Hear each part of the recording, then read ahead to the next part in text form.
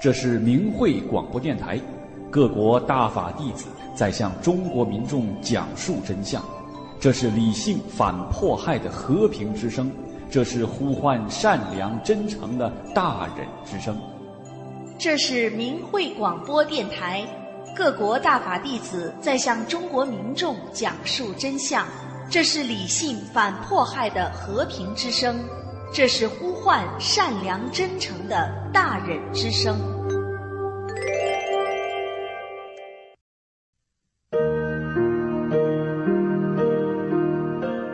听众朋友好，欢迎收听明慧广播电台。您现在听到的是第一千一百一十六期空中明慧周刊。请您继续收听二零二三年世界法轮大法日征文选登。请听文章：大法救了我全家人。作者：山东大法弟子明心。文章发表于明慧网，二零二三年五月二十一日。我今年六十七岁，今生有缘修炼法轮大法，使我从多种顽疾中恢复健康。母亲、丈夫和女儿认同法轮大法好，在他们生命最危难之时，得到了大法师父的护佑。丈夫从恶性结肠肿瘤中重生，母亲重见光明，有着习惯性停孕的三十七岁的女儿喜得贵子。下面是我们一家人的故事，在庆祝世界法轮大法日之际，与朋友们分享。第一部分，喜得大法十五天，顽疾全消。我曾经患有严重的胃寒病、神经衰弱、耳鸣、附件炎、肩周炎，还有血色素低等多种疾病。尤其是严重的胃寒病，一到冬天，胃里就像喝了冰镇的凉水，疼痛难忍。就医吃药无济于事。每当入夏的时候，同事们都穿上了漂亮的衬衣和裙装，我只能望而却步。衬衣里面还得套一件毛背心御寒。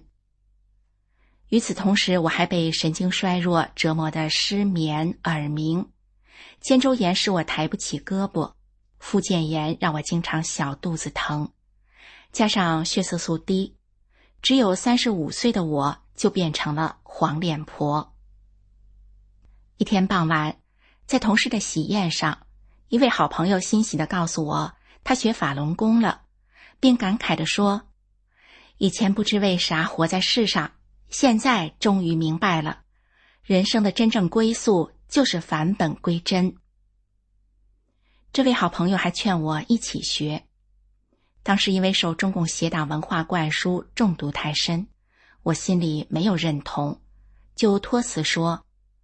孩子读中学，工作也忙，等退了休再学吧。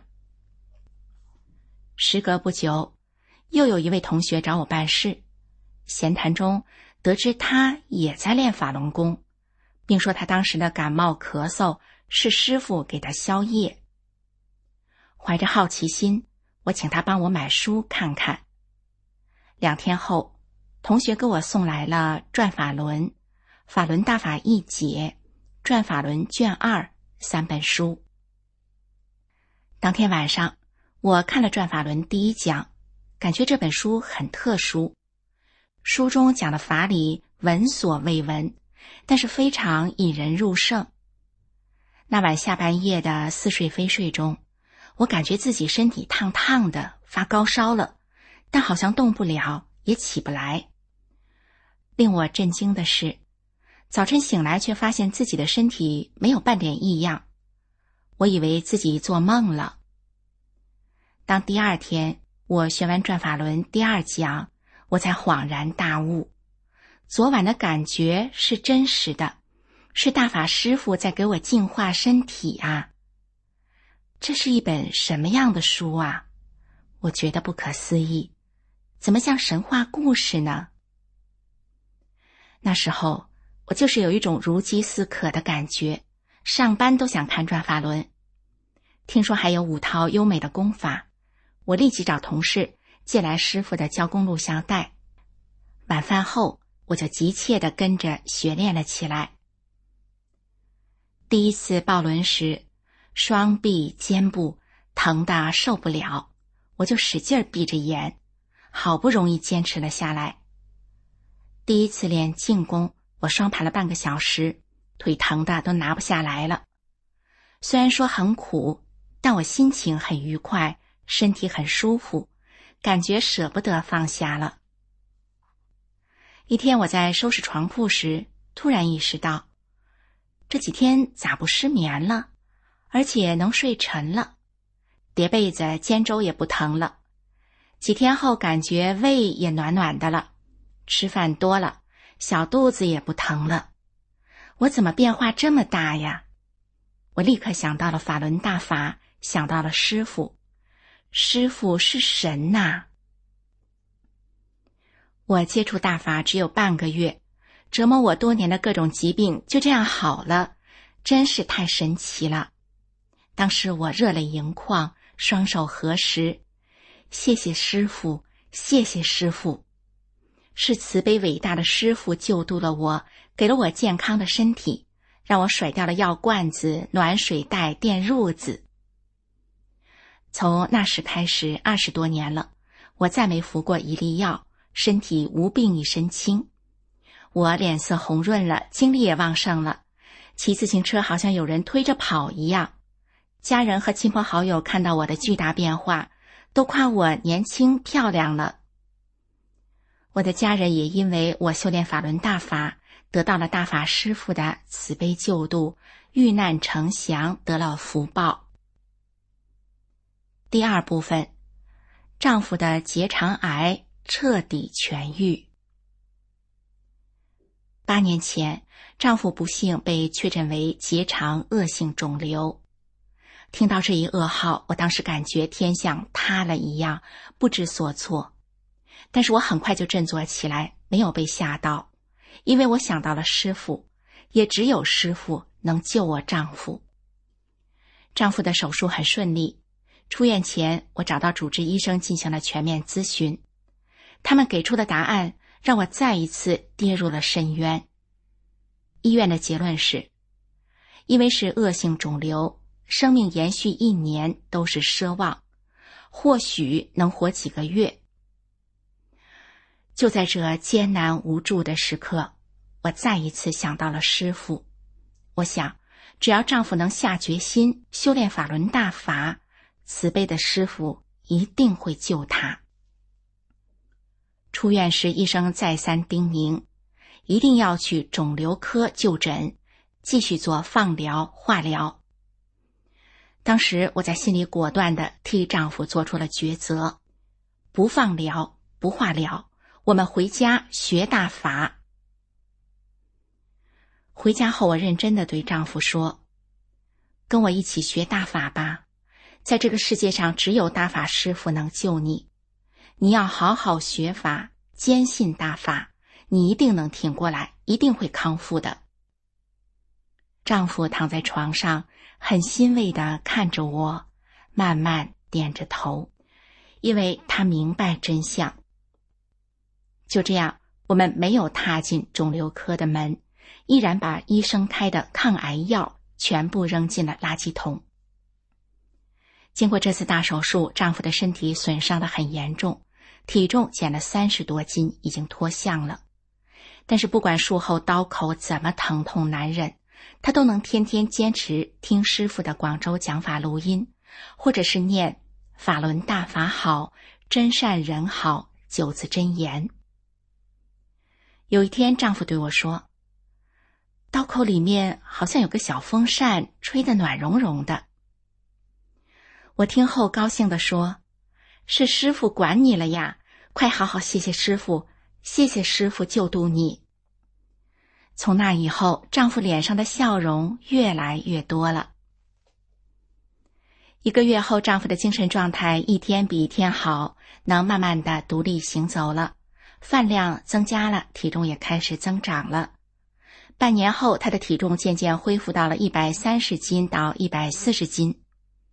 前几年，按照医生的要求，一年做一次复检查体，我丈夫的 CT 结果和验血各项指标都很正常。最近这两年，她感觉身体非常好，不用再查了。现在丈夫天天看转法轮，有时也看师傅的各地讲法，天天坚持练功，还时常提醒我发正念。有时遇到矛盾，他比我的心性还好。现在八年过去了，丈夫的身体没有任何不适，开车、买菜、做饭、带小外孙，从不喊累。全家人再一次亲眼见证了法轮大法的神奇与超常，无不感恩慈悲伟大的师尊给了我丈夫第二次生命。第三部分，母亲的眼睛重见光明。我母亲八十二岁那年。左眼做了白内障摘除手术，三天后拆除了纱布，母亲却什么都看不见了，全家人都慌了。亲戚听说后，在北京大医院找眼科医生咨询，看是否能补救一下。医生们说，老人年龄大了，不能再手术，只能这样了。全家人唉声叹气，后悔不已。我把母亲接到家中，安抚她说：“没事儿的，在我家住些日子，保证就好了。您啥也不用想，一切由我来照顾。您就静静的躺着，听师傅的讲法，或是念法轮大法好，真善人好，眼睛很快就好了。心一定要诚啊！”母亲是个非常善良的人，她看过大法书。还告诉邻居阿姨，常念九字真言会身体健康、吉祥平安。有位阿姨打来电话说忘了哪九个字，母亲在电话里一字一句的念了好几遍：“法轮大法好，真善人好。”看见母亲这么认同大法，我心里真为她高兴。有一天，母亲惊喜的告诉我。我的眼前发亮了，我说：“您再好好看看。”母亲走到窗前，往外看了一会儿，大声喊道：“真的能看到了！”还拿起镜子看着自己的眼睛，左端详，右端详，笑得满脸像开了花似的，一脸幸福。这是第十二天，母亲的眼睛就完全康复了。从那以后，母亲更加信仰师傅，更加相信法轮大法好了。遗憾的是，他老人家没能走入修炼，九十二岁寿终。这个年龄是他们家族的高寿了。我心里非常清楚，老母亲也是受大法的恩泽，延年益寿得福报了。第四部分，三十七岁的女儿喜得贵子。女儿婚后六年没有生育，亲家母尤其万分焦急，因为之前女儿有过两次怀孕的经历，但是都在胎儿四十多天的时候就停孕了。为此，全家人既担心又期盼。女儿三十六岁时又传来怀孕的喜讯，但这次与以往不同，由于前两次的经历，女儿心理压力很大，被痛苦的阴影笼罩着，忧心忡忡。我鼓励他说：“好好拜读大法书吧，大法一定会帮助你。”女儿读高中时看过一两遍转法轮，也非常认同大法，所以就愉快的捧起了转法轮，天天读，有空就念法轮大法好，真善人好。女儿的精神状态一天比一天好，不知不觉中就闯过了可怕的停孕期。胎儿发育到四个月时，医生告诉我女儿，胎儿后颈某处指标很高，若持续增长，可能会导致胎儿大脑智障，建议半个月后再复查。为了避免家人担心，女儿谁也没有告诉，自己回家认认真真的学法。七天之后，女儿自作主张的去医院复查，医生说，肯定没有任何变化。八天以后再来吧。在女儿的再三恳求下，医生勉强同意提前做胎检。结果显示一切正常。女儿激动地说：“我就知道自己正常了。医生却皱着眉头说：“不可思议，你真是个特殊的例外。”临近分娩前，女婿担心女儿年龄大，跟医生协商做剖腹产。医生建议看具体情况决定。进产房前，女儿安慰我们说：“爸妈，放心吧，我知道该怎么做，我有大法保护，一切都会顺利的。”一个半小时后，没等产房的护士通知我们，双方父母在产房外分别收到了女儿发来的信息，上面写着：“顺产，男宝宝，七斤六两，母子平安。”得知女儿能在产床上第一时间给我们报喜，可想而知，如果没有师傅的保护，柔弱的女儿怎么能做得到啊？当亲朋好友、同事们得知三十七岁的女儿顺产了一个近八斤的健康宝宝，都赞叹不已。小外孙聪明可爱，很有大法缘。一岁的时候，家中有很多玩具，但他最爱看的就是法轮大法台历上的吉祥娃娃。小外孙还能准确无误的辨认画中的“法轮大法好”。真善人好九个字。小外孙一岁五个月的时候，他只要看到我学法，就会急急的跑过来，要抱《转法轮》这本书。我仅仅说过一次，要爱护。以后每当他要抱《转法轮》时，都会承诺说，要爱护。我说，你还不认字？他回答说：“认，真善人好。”小外孙还会盘起小腿儿立掌，学我发正念的样子。一次，我在给亲家母演示法轮大法的五套功法时，小外孙竟然一直在我身后弯着小腿儿学着呢，太可爱了。我心想，这孩子不一般。是来得法的呀。小外孙刚三岁的一天，他看着师傅的法相，对我说：“第一次看到师傅，我哭了。”我激动的紧紧把孩子搂在怀里，望着他，我眼泪止不住的流。师傅啊，这孩子真是您赐予我们的呀。小外孙这句熟悉的、发自肺腑的语言，只有在同修间才能听到的。这么小的孩子，明白的一面，什么都知道啊！我与我的家人，还有更多的大法弟子及众生，在这万古难遇的法轮大法红传的伟大时代，非常幸运的得到了师父的慈悲救度。一桩桩、一幕幕的神奇经历数不胜数，无不验证了法轮大法师傅的佛法句句是天机。师傅在《转法轮》中说：“天体、宇宙、生命、万事万物，是宇宙大法开创的。生命背离它，就是真正的败坏；世人能够符合它。”就是真正的好人，同时会带来善报福寿。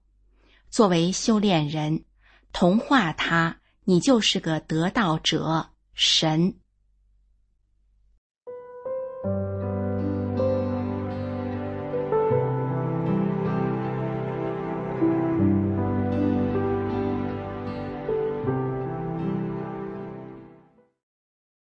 请听文章，题目是。妻子修炼大法，我受益很多。作者：中国大陆大法弟子家属。文章发表于明慧网，二零二三年五月二十一日。我妻子是法轮大法修炼者，我是大法弟子的家属。虽然我没有修炼，但却在大法中受益很多。中共江泽民流氓集团疯狂迫害法轮功，我的家庭也经历了许多磨难。大法师父发表了为什么会有人类？我对以前遭遇的不公看开了，看淡了，心态平和了。一，坚强起来，站在善良正义的一边。我是一个普通工人，妻子是一名教师，原本有一个幸福的家庭。因为中共恶魔江泽民流氓集团疯狂迫害法轮功，我的家庭也经历了许多磨难。因为妻子坚持自己的信仰，被多次非法关押判刑，被非法开除，也曾被迫离婚，后来复婚。我的家被迫害得支离破碎，几乎到了家破人亡的边缘。我在各方面的压力下，随波逐流，助纣为虐，做了许多错事。我曾毁过大法师父的法像，毁过大法书籍，也诽谤过大法和大法师父。在这里，我向大法师父道歉。我在明慧网上已经发表了郑重声明，声明自己以前对大法不利的言行全部作废。我阻止妻子修炼，给她制造了许多磨难，特别是她刚从监狱回来后，不让她看大法书，不让她练功，不让她接触同修。不让她出门，限制她的人身自由。他感觉自己从大监狱回到了小监狱。我多次劝他说：“胳膊拧不过大腿，鸡蛋不能碰石头。我们是普通人，过好自己的生活就行了。你能改变了现实吗？”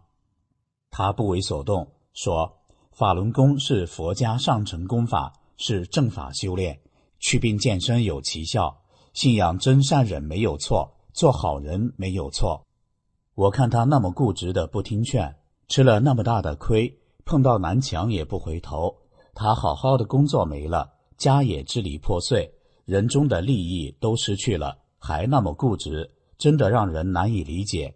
我每天不给他好脸看，故意为难他，讥讽挖苦他，有时打他骂他，逼迫他放弃修炼。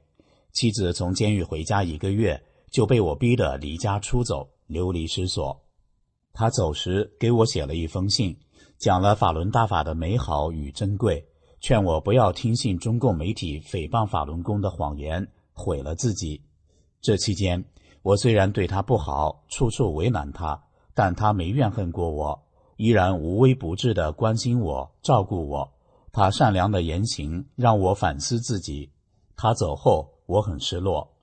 经过一年的时间，在我和孩子的劝说下，他又回到了家。妻子回来后，我对他的态度也转变了很多，不再阻止他学法练功了。他教会了我上网，指导我看正面的视频，看真实的文章，听传统文化故事。我的眼界打开了，我的心胸开阔了很多，我的世界观发生了改变。以前我是个胆小懦弱、怕事的人，和众多人的想法一样。自己过好自己的日子，各扫门前雪。自从明白了大法真相后，我去掉了许多负面思维，站在善良正义的一边，看清了中共邪党的邪恶。我这个胆小怕事的人坚强起来了，也有了正的能量，能分清善恶是非了，敢说真话了。感谢大法师父教导出这么多德才兼备的好弟子，感谢大法弟子无私的讲真相。我从中受益了，我知道了法轮功对国家、对社会、对家庭有百利而无一害。作为大法弟子的家属，我真的很幸运。妻子经常听师傅的广州讲法录音、明慧网的修炼体会、法会文章、大法弟子创作的歌曲、善恶有报的历史故事等，我也随着听。我每天还看新唐人电视台的节目，喜欢看大法弟子的自媒体。看动态网的文章等，这些让我开阔了视野，使我从迷茫困惑中清醒，也破除了无神论、进化论的壳，进一步认清了中共的邪恶。我的思想观念发生了翻天覆地的变化，我的人生观发生了改变。妻子在监狱里的那些年，我时常喝酒消愁，饱一顿饥一顿的，我的胃出现了毛病。凉的、热的、辣的、酸的都不能吃。我喜欢吃韭菜馅儿饺子，可吃了就闹心，不能吃。大米饭吃了烧心，吃了怕胃疼。以前我吃了不少药，偏方也用过，都没治好。现在我一片药也没吃过，但是胃病好了，什么都敢吃了。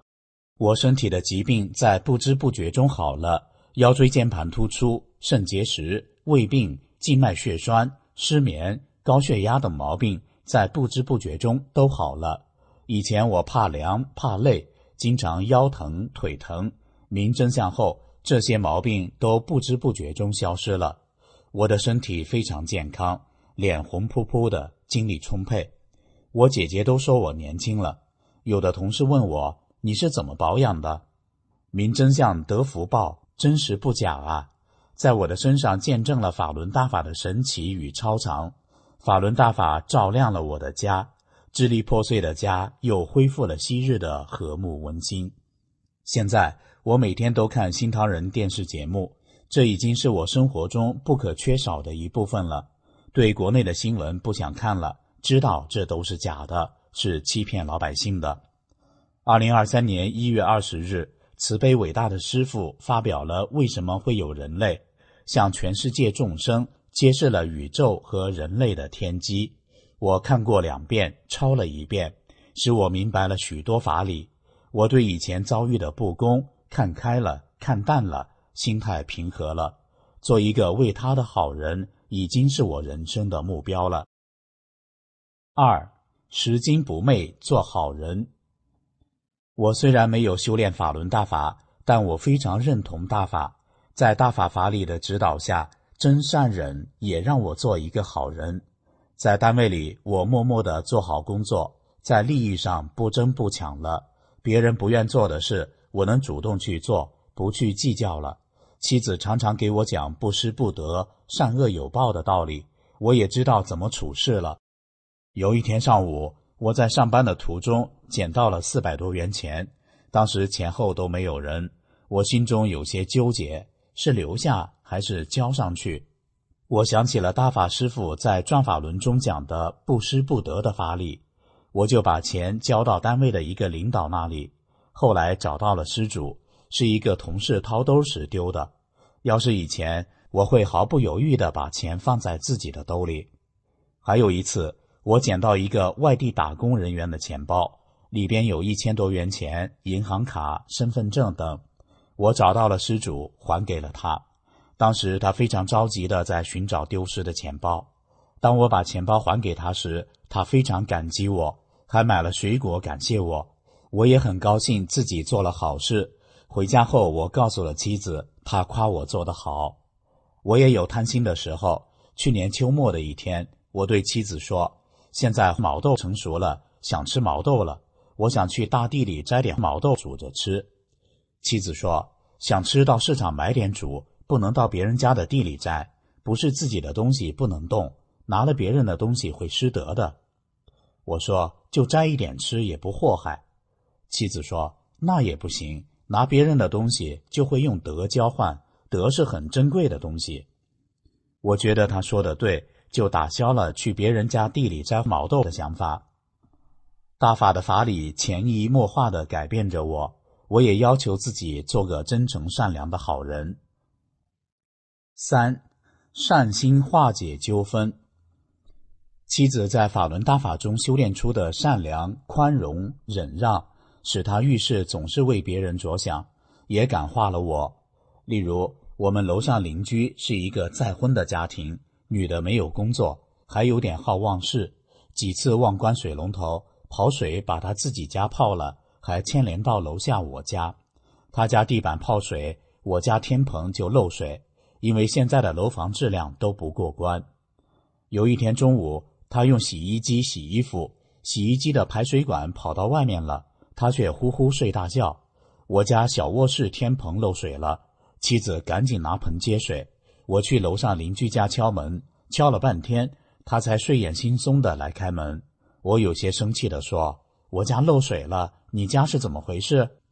我进屋一看，洗衣机水管在外面放水呢，地板上都是水。她赶紧收拾。我家小屋天棚被阴湿了一片。我想找她丈夫说说，但那天她丈夫上班没在家。妻子一再劝阻我，别告诉她丈夫了。因是后组成不久的家庭，怕他们因这事干仗。我觉得妻子说的有道理，遇事得为别人着想。又有一天中午，厨房又漏水了，哗哗的漏水声很大，壁橱的东西都湿了，墙壁也湿了。我赶紧去楼上邻居家敲门，男主人没在家，女主人又在睡午觉。因为暂时停水，他把水龙头打开却忘关了，来水了他却睡着了。水槽的水满了往外流，哗哗的流水声很大，他却听不着。门一开，看到他家的地板上都是水，我真的很生气，也不好说什么。我过去一看，他家的水管和水槽周边防护不严，水管四周往下流水。我家壁橱的东西多数都湿了，这一下来活了。我把壁橱里的东西都拿了出来，摆了一地，都没有插脚的地方了。屋里乱糟糟的。他家男主人回来了，他到我家来看看。我家被阴湿的东西摆满了屋子，厨房的墙壁也阴湿了。他感到不好意思。我让他看小卧室天棚有一片漏水的痕迹，他说不是我家漏的。我说上次你没在家，你媳妇洗衣服，洗衣机水管跑到外面了，是那次漏的。你嫂子怕你俩干仗，不让我告诉你。他不好意思地说：“要是换成别人家，早该不愿意了。”妻子连忙说：“都不是故意的，回家不要干仗。”妻子的善良感动了他。两天后，他送来一小袋旱黄瓜，说是自己地里种的。妻子说：“我家有。”推辞迷药，并谢谢他的好意。我家几次漏水都是楼上邻居造成的，我当时都很生气。想理论理论，我也产生了对楼上邻居家的怨气，也有想让他家给刷墙的想法，但都在妻子的善心劝解下化解了，避免了邻居间的纠纷。现在我们两家相处的很好。年前我自己把墙粉刷了一遍。四，车祸有惊无险。二零二二年十一月的一天，由于前几天下的雪化成水又结成了冰。造成路面很滑。早上五点多钟，我背上背包出门了，坐车外出工作。走到半路上的一个小拐弯处，由于路滑，我和同事坐的车突然滑到路下的斜坡上，接着又翻了两个个儿，掉到深沟里了，车玻璃全碎了，车废了。我坐在后面中间的位置上，身后有不少工具。车翻了，我左右的同事全压在我身上，还有工具。戴的帽子也掉了，我的头几处破皮在渗血，不知是车碰的还是工具戳的。我身上全是土，背包也是土，找到的棉帽子土更多。我当时没什么感觉，也没感觉疼，只是皮外伤。有两个同事肋骨骨折了，一个稍重点，一个轻点，其他人都没事。现在想起来都后怕。这么重的车祸，我只是受了一点皮外伤。感谢大法师父保护了我。一个明真相的同事说：“全车人都见了你的光。”谢谢大法师父的救命之恩。法轮大法好，真善人好。五，默念九字真言得福报。中共三年封控后清零，在二零二三年初严寒的冬天，免疫力最低的时候突然解封，瘟疫席卷了全中国。妻子没打一针疫苗，没做过一次核酸检测。他坚信练功人免疫力强，用不着打疫苗做核酸检测。在这个问题上，我也支持他，所以对强制打疫苗做核酸的骚扰电话，我都帮他挡住了。我俩身体很健康，家里不存药。在我的印象里，妻子没吃过药，打过针，即使有点小毛病，也都能很快扛过去了。今年一月份左右。我们单位多数人都阳了，我在单位也被传染了。一开始有发烧、全身无力、出虚汗、局部疼痛等症状，后来咳嗽。我劝妻子离我远一点，别被传染了。她却说：“我不怕，我是练功人，免疫力强。”在我发烧期间，家里没有退烧药，当时也买不到，只能用物理降温，用湿毛巾敷。妻子让我默念九字真言。法轮大法好，真善人好。我念了，可能我的诚心不够吧。一晚上烧没有升，但也没降。当时烧到三十八度左右，就是感觉全身不舒服。到了早上，妻子告诉我要诚心纪念九字真言才有效。我在心里默念法轮大法好，真善人好九字真言。中午就退烧了，感觉饿了就起来吃东西。从发烧到退烧。也就一天左右的时间。阳了的后遗症就是不愿吃饭，没胃口，吃什么也不香，想吃清淡的。妻子买来冻的大黄桃瓣和鲜梨，给我熬成罐头。在他的精心照顾下，我很快恢复了正常。我想，默念法轮大法好，真善人好九字真言起了大作用。我真是借法轮大法的光了，感恩大法师父。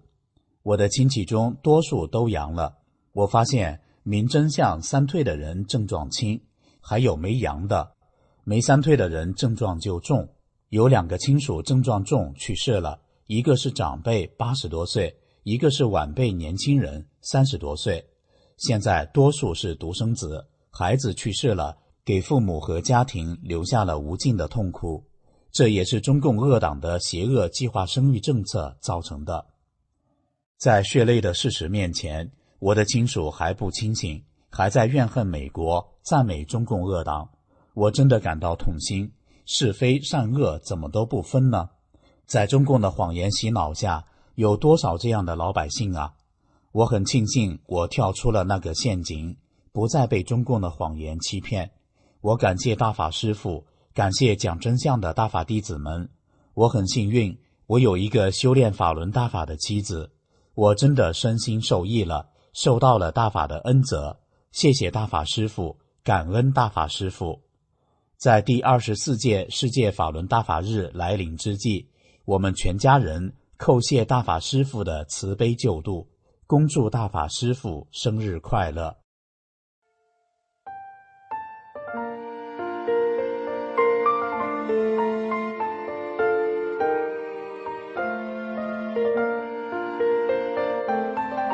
二零二三年世界法轮大法日征文选灯，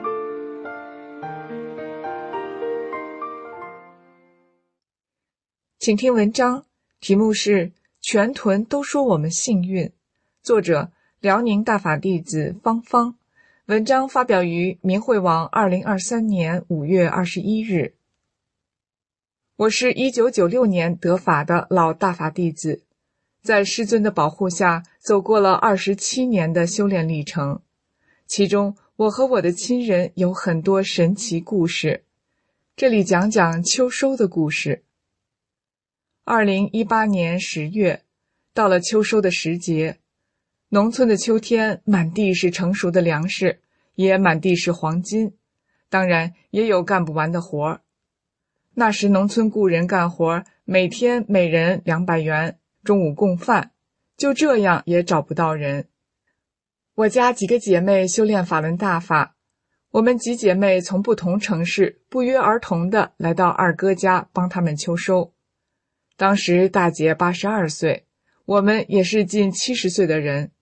开始五妹怕腰腿疼，就和大姐、二嫂在家摘花生、做饭等。我和侄女、二哥。到机械收过的地里捡落下的玉米、花生等，每天都能捡上千斤。如果家里没人捡，损失会很大。我们来的目的，一方面帮家人秋收，更重要的是讲真相救人。我们已在不同时间段为我们屯百分之八九十的村民做了三退，包括新老村长、村支书。这回小妹每周带来新的真相资料，我们晚上六点发完正念后，就乘侄女的轿车，有序的把几千份真相资料发到周边的几个村屯。二零一九年的秋收季节，我们姐妹又回老家帮忙秋收，正在全力准备秋收时，天气预报说当晚有特大暴雨，侄女马上坐公交车返家。叫亲戚用机器把花生起了。到了晚上，下了一场历史罕见的秋雨，真是沟满壕平，遍地是水。乡亲们焦急万分，眼看一年到手的收成全在水里泡着，真是叫天不应，呼地不语。过了两天，地里的水仍然饱和，估计上冻，这水也撤不下去。当时二哥家算上侄儿侄女的地，共有花生十多亩，玉米五六十亩，这可不是小工程。没有机械收割，在这么恶劣的环境下，人工抢收简直就是挑战人类的不可能。用工的出价一天三百元也没人干。这时，我想起师尊的一段法。师尊在各地讲法五，二零零四年美国西部法会讲法中说：“大法弟子啊，如果修到很高层次，主宰着很高层次的天体，你的一念确实在你的天体内无所不能，那是一定的。”所以，大法弟子一定要修好、修正。我没有畏惧，我自信。虽然我们近七十岁的人，几十年没干过的活儿，但我们有二十七年的修炼功底，应该有这种无所不能的超常表现。我们决定自己抢收。五妹说：“你能干，我就干。”二哥、二嫂、侄女当然高兴。但我们如果不主动表态，他们也不会忍心让我们去做。我们首先从花生捞起，侄女他们俩在水里把花生秧装到编织袋里，我和五妹往回拽。有的水太沉，我们就把袋子砍成小洞。后来又发现用塑料洗澡盆，两边都拴上绳子，这种方法很好用。侄女发到网上，有人说。这是有人类以来秋收的奇观，很多人点赞效仿。我们用十天的时间把花生抢出来了，大姐和二嫂给我们做饭，还要喂猪、鸡、摘花生等，忙得不可开交。接下来我们开始收玉米，我和五妹侄女负责掰，二哥和侄女婿负责往地头背，然后装车运回家。这过程中有很多人看到我们日出而去、日落而归后，也下地劈玉米，但坚持两天就受不了了，整天都在稀泥里、水里运作，有时还摔跟头，这活真干不了，认扔了。村长两口子是年轻人，他们双方的父母比我们小十多岁，都不敢下地干这活有人说。六七十岁的城里人比我们做地户的年轻人还能干。有一个小老弟专程来问我们：“你们这么干不累吗？”我说：“也累，但能坚持，因为我们是修法轮大法的。法轮大法是性命双修的功法，不仅身体健康，而且还延年益寿。”他说：“怪不得你们这么超常。”练功和不练功就是不一样，全村只有你们一家全收回来了，原来是沾了大法的光，好羡慕你们。我劝他说：“你也修大法，成为被羡慕的生命。”这里我要说一下，在这么高强度的劳动中，我们知道修好自己是最重要的，所以每天的学法、练功、发正念、讲真相的时间。雷打不动，就是八十三岁的大姐都没懈怠一天。有神助，事半功倍。六妹是音乐教师，五妹嗓音特别好，上百首的大法歌曲我们都会唱。有时我们就放开喉咙高歌一曲，忘记了时间，消除了疲劳，没有了苦累乏困的感觉，神情爽朗愉悦，别人觉得不可思议。我们把吃苦当成乐，修在其中，乐在其中。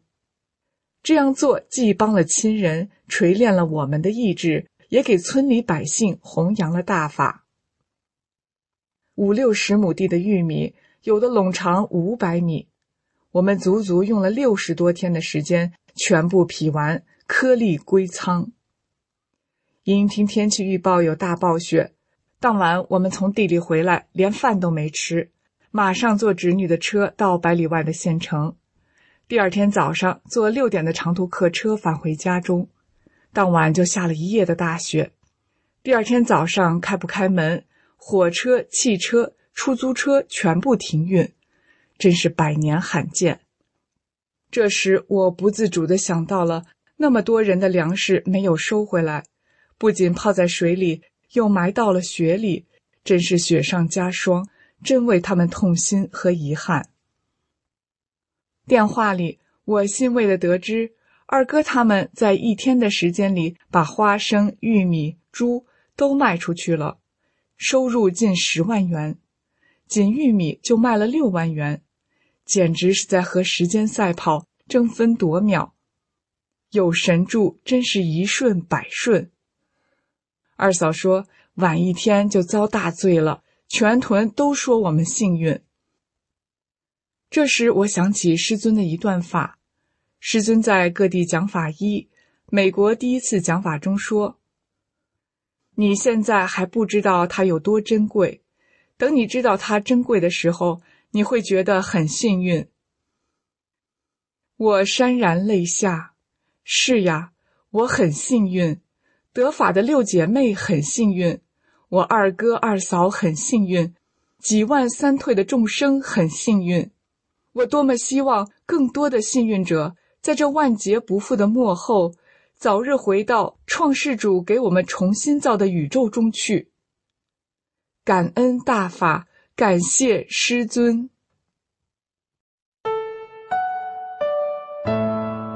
各位听众，这期的空中明慧周刊就为您播送到这儿，谢谢您收听明慧广播电台，下次节目再会。